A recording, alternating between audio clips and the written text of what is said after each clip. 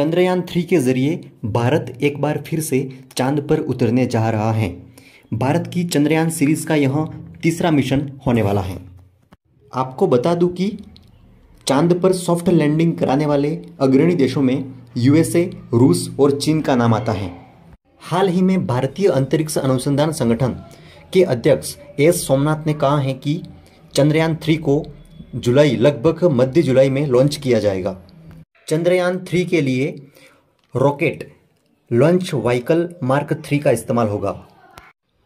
Chandrayaan three की कुछ महत्वपूर्ण बातें बताऊँ इससे पूर्व आपको ध्यान रखना है कि चंद्रयान फ़र्स्ट 2008 में भेजा गया था और चंद्रयान टू 2019 में। अब वर्तमान में 2023 जुलाई के मध्य में लगभग चंद्रयान थ्री की लॉन्चिंग की जाएगी।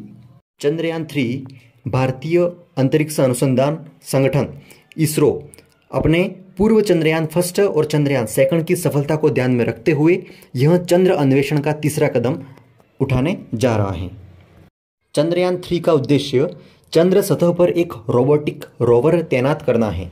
यह रोवर चंद्रमा की मिट्टी चट्टानों का यथास्थान विश्लेषण करने हेतु उन्नत उपकरणों से लेस होगा।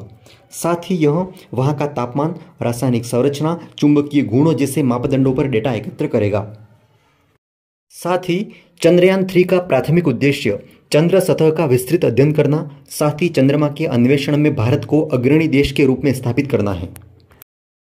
चंद्रयान टू की तुलना में चंद्रयान थ्री में कुछ महत्वपूर्ण परिवर्तन किए गए हैं, जैसे चंद्रमा थ्री के हार्डवेयर संरचना, कंप्यूटर सॉफ्टवेयर और सेंसर में सुधार किया गया है। साथ ही ऊर्जा के लिए सौर पैनल भी अतिरिक्त लगाए गए हैं, साथ ही अतिरिक्त सेंसर भी जोड़े गए हैं। इसकी गति मापने हेतु एक लेजर डॉपलर वेलोसीमीटर उपकरण विकसित किया गया है। हम उम्मीद करते हैं कि नई खोज और नई सीमाएँ तलाशी जाएगी। अंतरिक्ष में भारत की यात्रा निरंतर विकसित हो रही है और यह मिशन हमारे आकाशीय पड़ोसी चंद्रमा के रहस्य को खोलने में महत्वपूर्ण साबित होगा। जय हिंद साथियों। वीडियो अच्छा लगा हो तो प्लीज़ लाइक और शेयर करना ना भूलें और चैनल पे पहली बार आए हो तो प्लीज़ सब्सक्राइब करें।